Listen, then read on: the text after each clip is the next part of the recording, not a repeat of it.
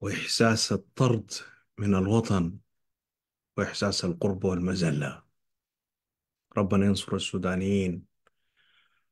أسأل الله أن يعيدهم بعودة حميدة لوطن. محطم ليبنوه مرة أخرى. وإني أعلم أنهم سيبنوه.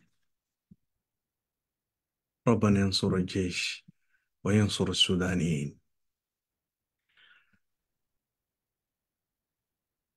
اتفاقية الحريات الأربعة. الجميع يتحدث عنها والجميع يعلمها كخط عريض.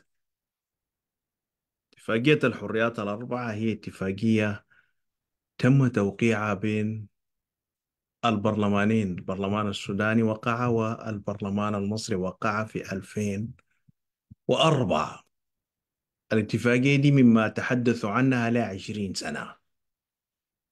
كيف كانت مسيرة هذه الاتفاقية؟ قبل أن نذهب إلى مسيرة الاتفاقية والتعامل معها الاتفاقية دي ما في. أي بالحيل سمحتني صح الاتفاقية دي ما موجودة ولا في أضابير الحكومة السودانية في وزارة الخارجية ولا في الإرشيف بتاع البرلمان ولا في أي محلة. عند المصريين لا موجودة في الخارجية ولا موجودة في وزارة الداخلية ولا موجودة في وزارة الهجرة ولا موجودة في أي محلة ولا موجودة في أي ولا حتى منها قصاصة. اتصلنا بالمصريين وبالسودانيين وبكل الناس زي الاتفاقية دي ويني؟ اتفاقية بين دولتين. المفروض تكون قاعدة؟ أنت لو عندك عقد ايجار مأجر لك مأجر لك حتة بعقد ايجار عقد الايجار ده بكون قاعد ما هو شكل من أشكال اتفاق أصلا. فكيف تكون اتفاقية بين بلدين؟ تكون ما معروفة ونصوصها ما مفككة ولا واضحة. لو رفعنا هسه اتفاقيات من هنا بتاعت بلدان الناس تقعد ثلاثة يوم عشان تقرأ فيها. واتفاقية بسيطة جدا. مش اتفاقية قدر الاتفاقية دي. الاتفاقية دي كلنا بنسمعها. الاتفاقات الأربعة أو ال ال ال ال الأسس الأربعة بتاعتها. أنا ما لقيت لها حاجة مكتوبة. وأي زول لو لقاها مكتوبة غير الإرشيف بتاع الصحف ده هي ذات الاتفاقية ذاتها. ما, ما في اتفاقية بيكون من من صفحة واحدة. الاتفاقية دي ما فيها بنود والبنود دي بتكون مكسرة فيها بالتفصيل ومرتبة وكيف تحقيقها وفيها شروط جزائية وفي تفاصيل كثيرة في أدب الاتفاقيات بين الدول ده. ده علم كبير في السياسة. أدب كبير في السياسة والقوانين الدولية. ما موضوع بسيط يعني عشان يعدي ساي ما نلقى لنا إحنا ذاته ورقة نمسكها في يدنا نقول يا أخوانا دي الاتفاقية عشان نجي نتكلم عنها وعشان نجي ندين بها الدولة السودانية إذا خرقتها ونجي ندين بها الدولة المصرية إذا خرقتها.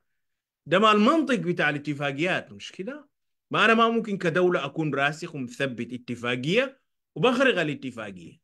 يبقى الاتفاقية كلها انتهت إذا اتخرق بند من بنودها أو ملحق ببند من بنودها أو أسيء التطبيق في بنودها أو خرج واحد من البنود خارجة ما بتتنقص الاتفاقية بتكون كاملة. بنسمع إحنا بالاتفاقيات الأربعة ونحن كمركز طلبنا اوفيشالي من الناس من مراكز القرار في مصر ومراكز القرار في السودان إنه يمدونا بالاتفاقية دي نصها عشان بس نقرأه ونفهمه ونفهمه للسودانيين ونشرحه للمصريين برضو حقوقهم في السودان شنو يبقى الاتفاقية دي. طيب. اتفاقية تمت كيف بالكلام؟ يا أخي اسمع خلاص اتفقنا على كده وكده. والبرلمان قال للبرلمان المصري خلاص يا أخي اتفقنا على الأربعة ديل.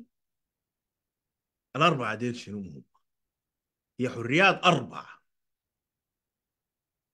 هي حرية العمل وحرية الإقامة وحرية التنقل وحرية التملك. أربع حريات. الاتفاقية دي لما شلت الأربع حاجات دي حاولت بقدر الإمكان أجيب اتفاقية مقاربة لده أبى الكتاب الشيل الاتفاقية دي كده لأنه حرية الإقامة ما بكون مع حرية التنقل ما أنت حرية الإقامة دي وين؟ في السودان حرية الإقامة دي وين؟ في مصر وحرية الإقامة ما بتكون محددة بالتنقل. ما فيها الإقامة يعني الإقامة والتنقل الاثنين ما بيقعدوا في اتفاقية واحدة. يعني أنت تديني حرية إقامة وتقول لي اتحدك في في في السودان الخرطوم شريك؟ أو تقول لي حدك في القاهرة مصر الجديدة؟ إنت بقى سجنتني. يبقى ما بتتوافق الحاجات مش كده؟ ما بتسمى ما بتسمى حريات أصلا في كتاب السياسة لكن إحنا ماشيين بشنو؟ ماشيين بياتوا كتاب ماشيين بياتوا منهج إحنا أصلا. كمصر كان السودان. ماشيين بياتوا منهج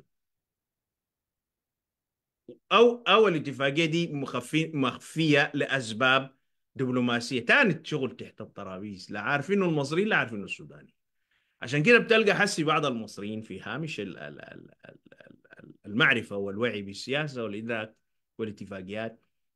يقول لك يا أخي الناس إحنا ما دارين هنا. وكذا بنفس المستوى في السودانيين اللي ما فاهمين القصة كويس ما فاهمين حقهم ومستحقهم في مصر وفقا للاتفاقية. ولحد نهار الليلة ولا طلعت الدولة السودانية قالت الاتفاقية دي ملقاة ولا طلعت الدولة المصرية قالت الاتفاقية ملقاة. أكثر شق أنا ما بقدر أسميها دي اتفاقية. ك- كلام. بتتسب بيقولوا عليها لكن أنا بالنسبة لي بالكتاب ده ما في ما في اتفاقية. لأنه الاتفاقية نصها ما موجود. ما في اتفاقية ما عندها نص هنا. ولا إلا تكون اتفاقية ب- بالاتفاقيات والموضوع العرفي بين بلدين. وده ما بيبقى بيبقى في بلد واحدة دستور غير مكتوب. زي الدستور بتاع بريطانيا. وفي دساتير أخرى هنا في الجزر دي ما مكتوبة. بالعادات والتقاليد والتعارف ومتعارف عليها وبقى أي زول عارفها لكن ده اتفاق بين بلدين. لابد من يكون معلن عشان أنا أتحاسب وفق القانون ووفق الاتفاق ونص الاتفاق. طيب ألا السودانيين مسموح لهم بحرية العمل ال ال ال القانوني في البلد؟ أنا ما بقدر أعمل في مصر وفق الاتفاقية دي. إذا أنا مفروض علي يكون عندي إقامة في الدولة. تو حاجيك لتفاصيل الإقامة دي. أنت أديتني حرية العمل وحرية الإقامة وحرية التملك في الدولة وحرية التنقل. رغم إنه الاثنين anyway أنت أديتني حرية التملك والتملك ده من أكبر أبعد الحريات في الاتفاقات الدولية بين الدول والعلاقات الدولية. التملك ده كبير أنا معناه ممكن أتملك أرض زراعية أنا أتملك بيت أنا أتملك ده كله. بحقيه وبمستحقيه وبالاتفاقيه أنا أتمل... اتملكتها في مصر والاتفاقية ذاتها ما فيش. الاتفاقية اللي اتبنى عليها أنا التملكي لقطعه أرض أو مسكن أو بيت في مصر أو شقه من غير من غير الاتفاقية اللي أنا برتكز عليها أصلا. تمت مبايعاتي مع الزول ده وأي حاجة وفق المحامي المحلي وأي حاجة. لكن في نهاية الأمر في قرار بتاع دولة. الدولة هي اللي بعدين بيكون لها القرار بالعقار اللي هو ده التراب. بتكون فيه الدولة أنا كمواطن أنت الباب الواحد الهسي المفتوح على مصارعه. إنك تمتلك هسي لو أنا مشيت أشتري 10 شقق في مصر. 100 شقة في مصر لأصحابي ولا اي زول. 100 شقة. ما بيقول لي ما تشتري. أشتري ساكت. التملك دي ده الاتفاق بس ماشي في التمليك ده. ليه؟ لأنه التمليك ده بعدين الدولة ممكن تقول فيه أي قرار دايرة أو تسحب أي حاجة. ما دي اتفاقية ما موجودة. إذا هي ما كانت موجودة عند السودان ولا موجودة عند المصريين يبقى بتكون اتفاقية أنا أقاضي بها في محاكم دولية كيف؟ إذا الإدارة المصرية قررت إن أي زول اشترى بيت في مصر إحنا قررنا البيوت اللي في مصر دي تكون للمصريين وليس للاجانب البيت اللي ساكنه زي الليبي. ما شوف الكون ده ماشي على اتجاهات أنت ما بتقدر تضمن فيه حقك إلا تكون واعي بحقوقك وبالقوانين وبالدساتير الموجودة اللي بتحكم الناس. المصريين ولا السودانيين المصريين ما ما محترفين بالاتفاقية ليه ما محترفين بالاتفاقية؟ أول حاجة أنت بتدخل مصر لابد من إنك تدخل بفيزا. كويس؟ أنت بلد سامح لي أنا أعمل فيها الحاجات دي كلها من عمل وإقامة وتنقل وتمليك. تمنعني أدخلها كيف؟ أو تشترط علي الدخول بالفيزا كيف؟ ده بيتنافى مع مبدأ الكلام اللي اتقال ده. أو دي ما اتفاقية. أو ده تغبيش للسودانيين وكذا للمصريين أيضا. ده تغبيش. الح... ال... الكلام ده لما خدتنا في المحك هسه نحن ودخلنا لاجين وده باب تاني. هشرحه لقينا نفسنا في في اختلاف. السودانيين المفروض يدفعوا اقامات هل اتفاقية من هذا القبيل؟ إذا كانت اتفاقية حقيقية وصادقة السودانيين ما بيدفعوا اقامه في بلد مسموح لك فيها التملك. ما بتدفع اقامه ولا بتدفع فيزا.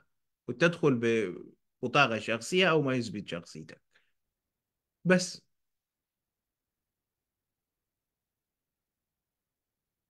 البرلمان المصري ما عنده في ارشيفه الاتفاقية. والبرلمان السوداني ما عنده في ارشيفه الاتفاقية. ده يبقى الاتفاقية دي قاعدة وين؟ سألنا الصحفيين ومراكز الدراسة مركز الإهرام ما عنده.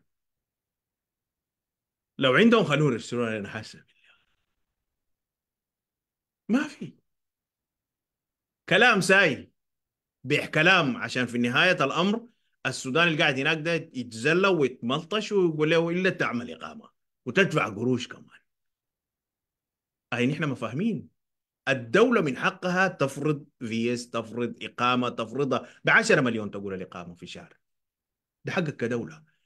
لكن كمان أنا حقي معاك عندي اتفاقية معاك. هل الاتفاقية دي قائمة ولا ما قائمة دارين نسمع من الإدارة المصرية. وإلا إذا الاتفاقية دي قائمة ومن الإدارة السودانية من الاتفاقية دي قائمة يبقى السودانيين ما المفروض يتعرضوا لأي من أي من التساؤلات اللي بتحصل والذلة والمهانة والملطشة. واليومين دي المصريين أنا شايفهم قايمين في الكراك داون بالنسبة للسودانيين واللاجئين اول توجذر دارين يعملوا شنو؟ أنا ما فاهم. بدوا الخطوات بتاعتهم بأنه يدفعوا الناس ويدفعوا الناس قروش وكله ده. لكن إحنا من جانبنا كمركز بنصل لنهاية الحاجات دي. حوريك أنا حنصل لها كيف. شوف المركز طلب من الأمم المتحدة حاجتين اثنين. الأمم المتحدة ما عندها علاقة بالاتفاقية طبعا هسه أنا بعد شوية بعد اللقاء ده إن شاء الله حرفع عليكم الخطابين الرسل الرسلهم المركز للأمم المتحدة.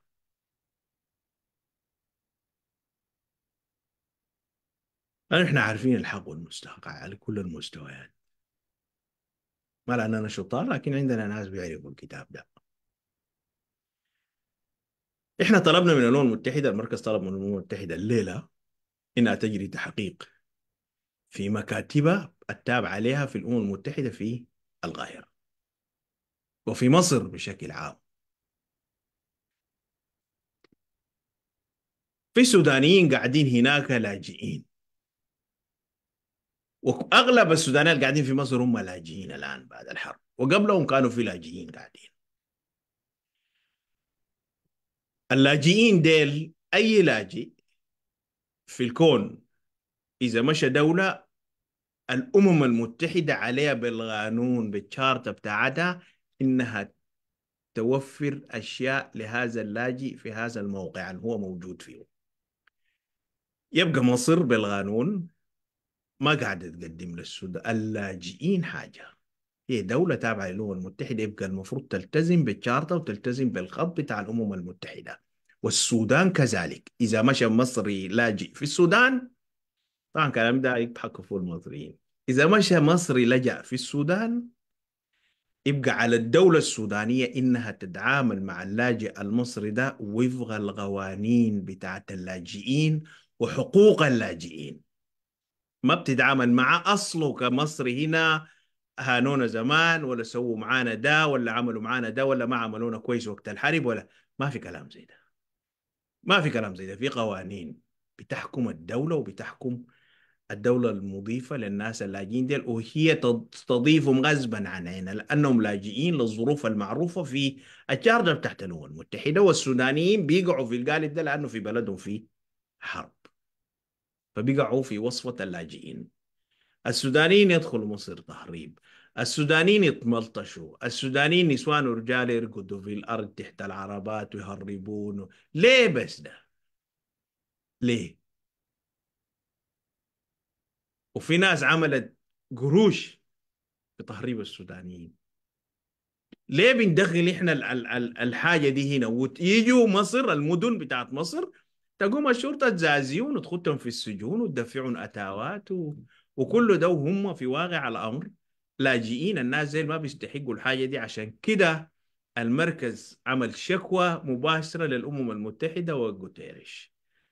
لأنه اللي بيحصل ده دي مهانة للسودانيين وده خروج للإدارة المصرية من قانون الأمم المتحدة اللي هي جزء فيه. هي جزء من الأمم المتحدة وبدين بالقوانين الدولية بتاعت الأمم المتحدة. أي سوداني دخل مصر دي من الحرب ما المفروض يترمي في السجن ولا المفروض يدفع إقامة ده كلام الأمم المتحدة عاد. ولا المفروض يدفع إقامة ولا المفروض يزازوا ويكشوا حرامية نحن. عملنا شنو نحن؟ عشان يكشونا ووقفونا في العربات ويجيب إقامتك ويجيب. عملنا شنو نحن يا مصر؟ يا أم الدنيا. عملنا شنو نحن غير اديناك واطاتنا عملت فيها أعظم سيد. وبنيت به اقتصاد مصر وموقف مصر. السد موقف مصر على حيله وحرب المياه آتية. وغير كده انت قاعد في حلايب وشلاتين إدارتك عارفة وأي سوداني ومصري كل الدنيا عارفه إنك أنت قاعد في الأراضي السودانية. أدوك لا الكيزان الخونة ديل عشان يعملوا موازنة بتاعت محالة اغتيال حسني مبارك. الكلام ده كله معروف ومعلوم بالنسبة لنا. ما نغالط الحقائق؟ إحنا المصريين. ما نغالط حقائق التاريخ؟ وأنا بذكرك كل مرة في العدوان إنت جيت كليتك الحربية دي وكل عدتك الثقيلة بتاعت الحرب دي وكل الغازفات الروسية دي كانت قاعدة عندنا في وادي سيدنا. معناته إحنا دخلنا معاك الحرب. وفتحنا لك الباب. ثلاثة مليون من عساكرك وضباطك جو السودان. امنوا اي حاجة. فتح لنا الباب إحنا. إحنا ما بنترجاك تساعدنا ولا بننتظر منك. لكن إحنا دارينك تتعامل تعامل عقلاني في السياسة في الإقليم كله. تستخدم عقلك مع السودانيين ديل على وجه التحديد. أعزاء قوم اذلوا الآن من الحرب وده شيء طبيعي. الحروب بتحصل والدنيا بيحصل فيها ما يحصل. مصر ما بتقدر تضمن 24 ساعة ما تدور فيها حرب ما بتقدر تضمن ده. لأن المسائل دي مرتبطة برب العالمين. إضافة للوضع السياسي في المنطقة ودي نصيحة للمصريين. الوقت ده هو وقت تكتل تكتل اقتصادي وتكتل دفاعي واتفاقيات دفاع مشترك واتفاق واتفاقيات حماية حقوق واقتصاد وحدود ومياه. ده وقت الاتفاقيات. ده مش وقت المعاداة للشعوب السودانية. ده ما وقت زلة السودانيين. ده ما وقت الاستثمار فيهم. لاجئين يا أخي. تستثمر فيهم؟ وتهددهم؟ أنا أستغرب في الإعلام المصري من المفترض إنه السودانيين ما تهددون والله.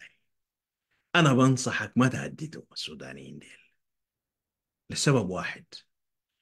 لأنه الحرب دي علمتهم مدرسة خطرة جدا. فالناس ديل التعامل اللي بيتعاملوا له مصر حسا هتلقاه لما البلد ده يستغر أنا بوريك لها واضحة لأنه الخطوة الجاية خطوتنا حتكون بالكتاب. مش البراغماتية دي والتطرف فيها نحن أهل التطرف في البراغماتية. حنمشي معاك أبعد مما تتصور. فأحسن ليك تقدم السبت. قد تشوف كلامي ده بعيد جدا إنه مصر آمنة ومصر ما فيها ما يحصل فيها حرب واقتصادها شامخ وبلد ثابتة و8000 سنة وكل المسرحية دي. خير وبركة. جيت لكم ومبروك عليكم وما عندنا نحن كلام في الموضوع ده. ولم نتمنى لكم تدخلوا في حرب بل بالعكس السودانيين بيتمنوا للمصريين كل خير. لكن أرجو أنه تورونا الوش الحسن منكم. أرجو ذلك. وأرجو من الحكومة المصرية إنها تلغي مسائل الإقامات للسودانيين ديل. ما حبا فيهم. ما حبا فيهم. إحنا قاعدين معاك بحقنا في مصر. تعال نوريك. أي لاجئ أدنى زول قاعد معاك بحقه. السودانيين ديل قاعدين بحقهم. كلمتك هنا في لقاء قبل كده وشرحت لك بيدخل في اليوم الواحد كم دولار للسودانيين. وده بيدخل للاقتصاد المصري. ونحن بنتمنى إنه الاقتصاد المصري يكون من أحسن الاقتصادات. وبل تعود مصر لريادتها الحقيقية وقيادتها الحقيقية وبناء الاقتصاد الحقيقي مش شوارع وطرق وكباري. ناس تاكل وتشرب وتكون آمنة وسعيدة. أبسط الأشياء متطلبات الحياة. الحياة وإدارة الدول ليس مظاهر بنائية ولا طرق كباري رفاهية المواطن بتكمن في إنه أبجديات تكون محسومة أكل وشراب وعلاج. ربنا يوفقكم أهل المصريين لكن حذاري من زلة السودانيين. حذاري. مركز قدم شكوى.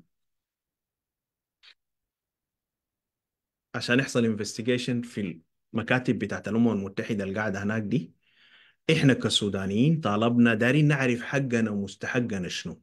لأنه أي لاجئ في أي دولة الأمم المتحدة بتتكفل بأشياء محددة أنا حمشي لك عليها.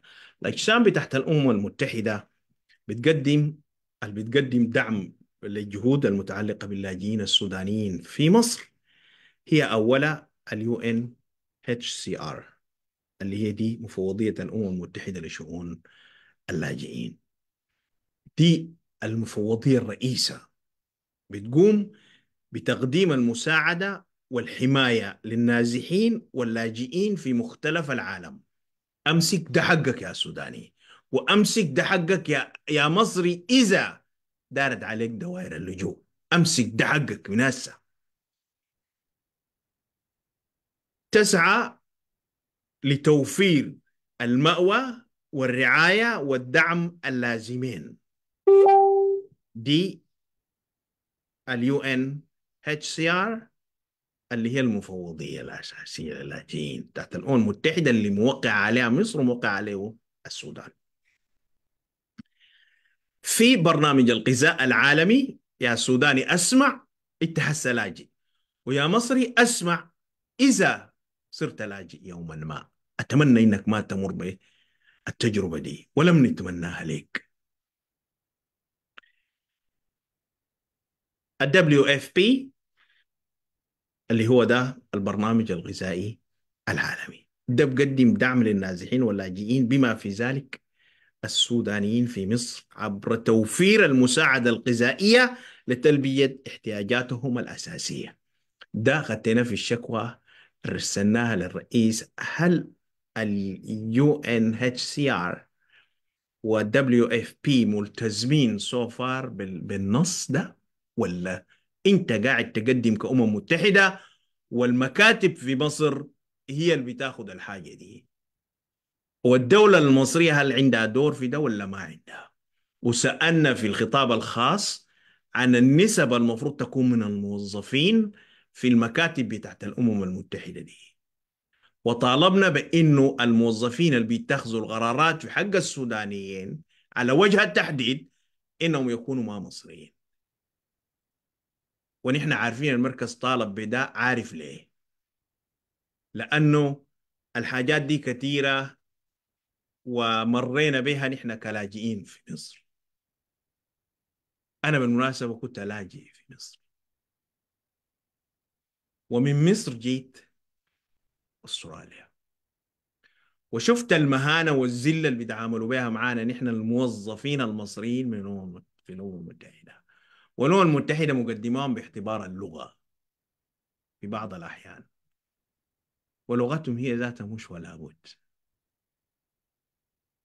فمقدمين النازل والنازل ما عندهم معانا محبة. في فئة من المصريين ما عندهم مع... معانا محبة.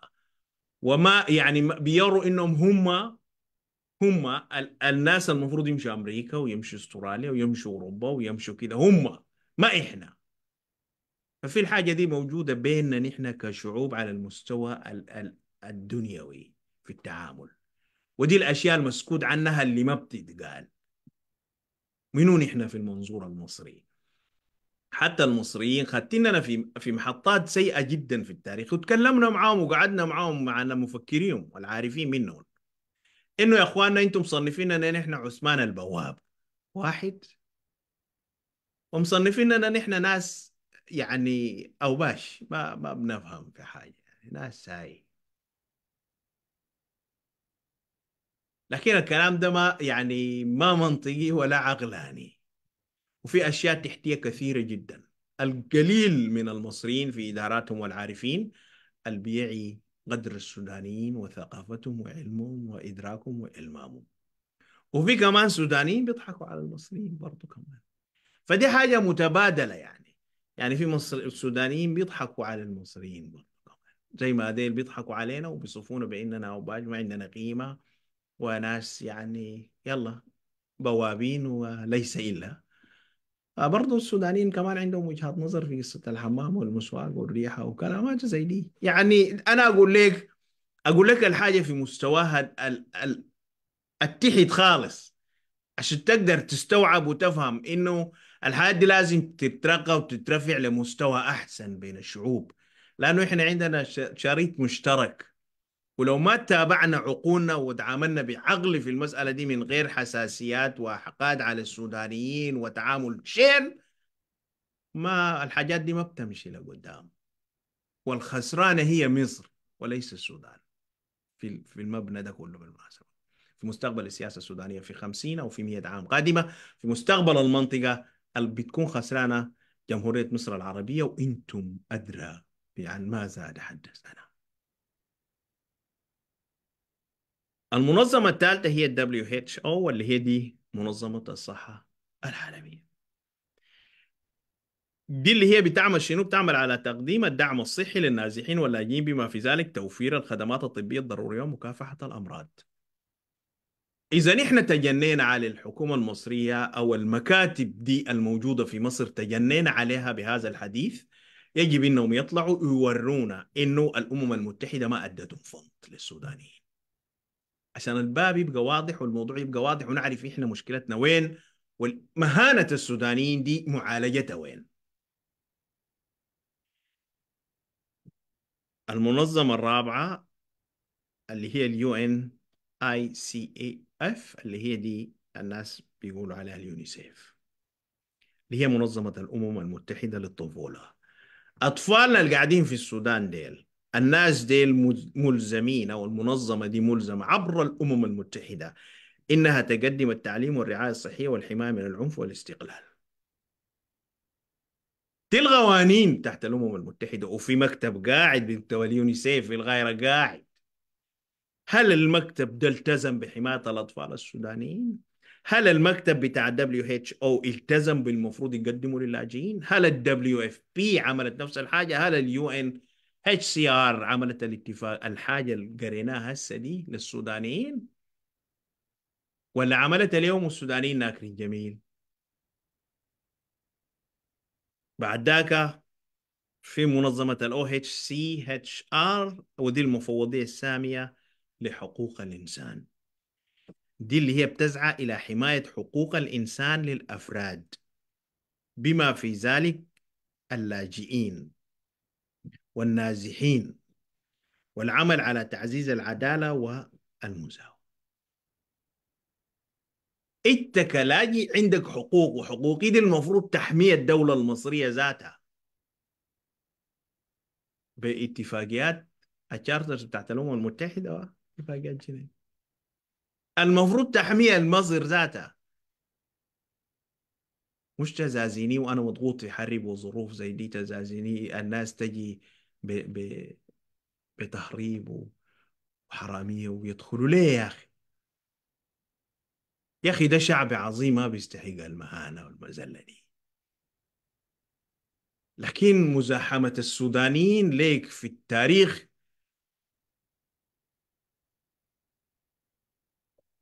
الكبير اللي انت بتتكلم عنه انك انت صاحب تاريخ له 8000 سنة أو 10000 سنة.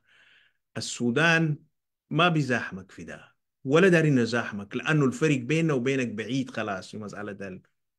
في مسألة الحضارة والتقدم الحضاري وكذا ما دارين ندخل في ده.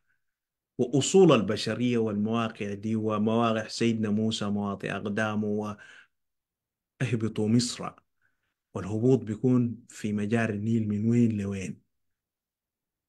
من أماكن المنابع لأماكن المصب. شوف ما دارين ندخل في جدلية الحوار دي نحن معاك ولا إحنا أحسن منك ولا أقدم منك في الحضارة وأعرف منك. ما دارين ندخل في الموضوع ده لأنه حس التاريخ أو الميديا الحديثة والتطورات في ال AI حتكتشف أي حاجة وحتوري منو المتسلط على منو. وده ما محك الحديث. طيب حقوق اللاجئين الدولية تنصب على مجموعة من المعاهدات والاتفاقيات الدولية التي تحدد حقوق الأفراد الذين يلجؤون إلى بلد غير بلدهم بسبب مخاوف متعلقة بالاضطهاد والتهديدات لحياتهم وحرياتهم أو الحروب أو الكوارث البيئية الخطيرة التي تؤدي إلى اختفاء الأراضي واختفاء الجزر وغيرها من الأشياء. إليك بعض النقاط الرئيسة لحقوق اللاجئين الدولية من الناس لأنه الناس ما بتحمل الحاجات دي وما في نكات وضحك فاختصرناه اختصار كبير جدا. الملف كله اختصرناه في حاجات صغيرة جدا. الحادي بتقوم على الاتفاقيات الآتية للاجئين وده المفروض أدب نعرفه نحن كلاجئين. للعام 1951 تحدد حقوق اللاجئين وواجبات الدول تجاههم. تعرف من هو اللاجئ وتحدد حقه في اللجوء وحمايته من الترحيل إلى بلد يمكن أن يكون فيه معرضا للاضطهاد وأن لا تضايقوا سلطات الدولة التي لجأ إليها. ركز في ده ما تضايقوا الإقامات دي مضايقة بالنسبة لي. أنا حاسة لو قاعد في مصر المض... دي مضايقة. ليه مضايقة؟ أنا أجيب لك قروش من وين؟ 1500 من وين؟ أنا على أقل تقدير بيرسلوا لي أهلي عشان آكل وأشرب في دولة اللجوء هذه. وده إسهام اقتصادي كبير جدا لو حسبته. خليني من الاستثمارات وخليني من البيوت اللي اشتراها السودانيين بروتوكول 1967 المتعلق باللاجئين يوسع نطاق اتفاقية اللاجئين لتشمل جميع الأفراد اللاجئين دون أي اعتبار للتاريخ والمكان الذي حدث فيه اللجوء. يبقى دي blanket في أي محل السودانيين في أثيوبيا السودانيين في كينيا في أوغندا في أي محل في جنوب السودان. كله. واللاجئين من جنوب السودان القاعدين في السودان واللاجئين من إثيوبيا القاعدين في السودان. أتعلم ليهم الليلة في لاجئين قاعدين في السودان؟ في العرب دي لاجئين قاعدين في القضارف إثيوبيين. وفي إثيوبيين تانيين ماسكين قناصين في الخرطوم شغالين مع رئيس الجنجاي شفت الموازنة دي غريبة كيف؟ السوداني اللي بحالتهم وحكومتهم دي لحالتهم ملتزمة به القوانين الدولية. وده المفروض الأمم المتحدة تدي فيه الحكومة السودانية وسام شرف في تنفيذ مخططات الأمم المتحدة والتزامنا بخط الأمم المتحدة بغض النظر عن الحكومة في أمنه. حقوق الإنسان العامة اللاجئ اللاجئون يحق لهم الاستفادة من حقوق الإنسان العامة المثلثة. حقوق الحياة والحرية والأمان. حقوق الحياة والحرية والأمان ودي كلها أي حتة مضايقة فيها بتنفيها كحق للإنسان اللاجئ ده. اللاجئ ده ما إنسان ما حيوان هو. اللاجئ ده إنسان يجب أن لا يزل في العباسية. ولا شنو؟ أنا عايز أخوان المصريين يعاينوا للحاجة دي بالعقل بالمناسبة. ما يعاينوا لها بأي زاوية تانية. ما تزل السودانيين في العباسية. أسأل الله إنه المصريين ما يشوفوا زلة. أسأل الله إنه المصريين ما يشوفوا زلة. لكن الدائرة الغنى يعمل حساب لفقره. دي كان ما عرفتها السودانيين بيشرحوا عليك. الوصول إلى العمل والتعليم يتعين على اللاجئين في كثير من الحالات أن يكون لديهم الحق في الوصول إلى فرص العمل والتعليم والصحة في البلد الذي يستضيفهم. الاستضافة في حالة اللاجئين على حسب النصوص ليست اختيارية لأنه أنا ما جيتك مختار. أنا جيتك مطرود بحرب أو الظروف اللي تكلمنا عنها قبل شوية. حق الحماية من الترحيل القسري أنا اختصرت الكتاب ده اختصار شديد جدا. لا يجوز ترحيل اللاجئين إلى بلد يمكن أن يكونوا فيه معرضين للاضطهاد أو الخطر على حياتهم وحرياتهم أو بلد ما زال يرزح تحت الدمار الطبيعي أو تحت الحروب الداخلية. ما بينفع. يبقى أنت لما تفرض علي أنا في مصر وده, وده تصرف الدولة طبعا. يبقى لما تفرض علينا أي إقامة أو أي شيء أنت هنا بتكسر في قوانين الأمم المتحدة. لذلك إحنا اشتكينا للأمم المتحدة عشان تنظر في هذه الأمور. تكلمنا مع المصريين كأخوان وقلنا لهم إحنا في ورطة والورطة دي بتعدي. اصبروا علينا شوية. ربنا ينصر الجيش عشان يحسم الفوضى دي كلها. ويعود السودانيين شرفاء ويا أهل المصريين بيخلوا لكم بلدكم السودانيين ما وحدوا معاكم والله ما قاعدين حبا في مصر ولا حبا فيكم. قاعدين لأنه ظرف الحرب الله لا وراكم ليها. قاعدين لأنه الظروف اللي هم فيها الله لا زلاكم بالحرب كما أزل الشعوب السودانية. نسأل الله أن لا يزل المصريين. لكن إحنا بنطالب بكل تهذيب وأدب حكومة السيسي. إنها تلتزم بخطوط الأمم المتحدة. خلي الجوار ده وخلينا نحن قاسمين موية ابن النيل وكل البوهية دي. خلينا منها دي بنطالب الحكومة المصرية إنها تلتزم به الخط العام للأمم المتحدة وحقوق اللاجئين. ليس إلا.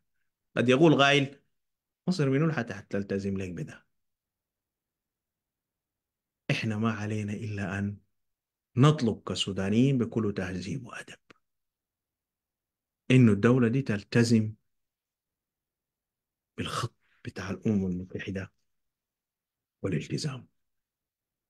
أنا برفع عليكم الشكوى هسه إنجليزي وعربي بعد هذا اللقاء مباشرة. ونسأل الله أن ينصر الجيش أن يعود السودانيين إلى أرضهم. حلوها بمرها بنعود بإذنه تعالى أعزاء كرام. وبعد المعاملة اللي عملتونا لها أيها المصريين بنشكركم على استقبالكم أهلنا الكرام. الأعزاء الذين أزلتهم الحرب. وين الدرس. بإذنه تعالى سيتبني بلد عظيم ونستقبل المصريين فيه بأي شكل من الأشكال. أتمنى إنهم ما نستقبلهم كلاجئي حرب. أتمنى إنهم نستقبلهم أخوان أعزاء كرام محترمين في بلد يحترم هذه الاتفاقية إذا وجدناها 2004 وحشوف البرلمان السوداني والشعوب السودانية هل إحنا محتاجين لهكذا اتفاقية بعد أن يهدى الأمر؟ إذا هي الاتفاقية ذاتها أصلا موجودة أم كيف يكون وكيف تكون السياسة الخارجية؟ في نقطة قبل نسيتها أنا.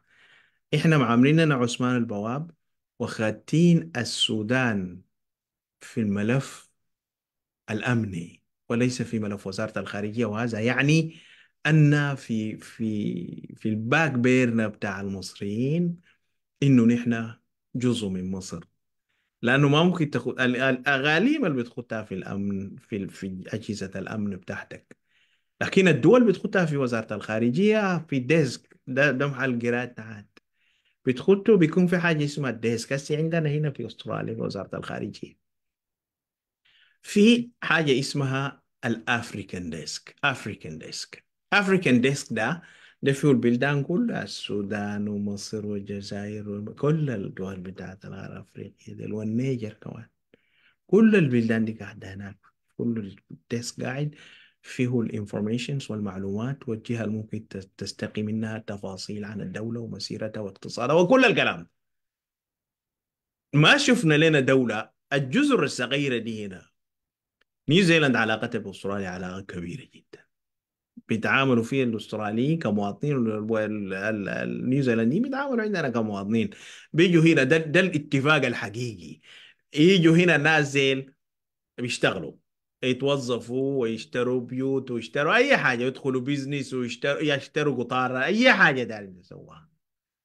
والأستراليين بيمشوا هناك بيعملوا أي حاجة بغض النظر عن إنت أسترالي جاي من السودان زي كذا ولا أي جهة. دي اتفاقيات قاعدة وهسه أنا بدي عايزه عنده زمن فاضي يمشي يدخل في وزارة الخارجية ال ال في ال research بتاع وزارة الخارجية في ال search بتاع البار بتاع وزارة الخارجية الأسترالية بيلقى العلاقة والاتفاقيات الموقعة ونحن حقنا شنو في نيوزيلاند والنيوزيلنديين حقهم شنو هنا في أستراليا. وكذا الجزر الصغيرة جنب أستراليا دي كلها فيجي وغيرها من الجزر. دي الاتفاقيات قاعدة بتلقى الاتفاقيات كتب section كامل بتاع اتفاقية. والله ممكن تاخذ لك أسبوع حتى تطلع على الاتفاقيه كلها وتفاصيلها. لكن بيختصروا لك حقك ومستحقك لما تمشي. وبيدوك note صغيرة كده أنت ماشي نيوزيلاند ده حقك في نيوزيلاند إذا قطعت في نيوزيلاند ال social system هناك ممكن يديك قروش ومصاريف زيك وزي المواطن النيوزيلندي اتفاقيات موجودة ومغربها الحكومات ما مدسوسة. ما ظهر يعني الحالة اللي حقتنا دي بتاعت الاتفاقيات الأربعة دي ما ما معروف ده شنو ده. أنت داس الاتفاق ليه؟ في حاجات كثيرة جدا حنين نتكلم عنها في وقتها الله تعالى. أرجو مرة أخرى للأخوة المصريين يحترموا بس الخط بتاع الأمم المتحدة ده ويحترمونا وما ممكن لاجئ سوداني يقعد 12 و13 سنة مقبول في الأمم المتحدة لحد ما الأطفال يبقوا كبار. يكونوا قاعدين وما يكون عندهم حق بتاع سفر. ويجوا ناس جداد بوساطات يسافروا. ومسألة غريبة جدا. وده كله شرحناه في الخطاب الخاص للأمم المتحدة. وفي الخطاب العام هنا للناس. تاني حنرفعه حسب بعد شوية زي ما أسلفنا ربنا ينصر الجيش ويفك أسر السودانيين في بلدان الآخرين. ربنا يحفظكم. والشعب المسلح والكتاب هم الباب. ربنا ينصر الجيش قعد موجب ولسه قدامنا الصباح في أمان الله.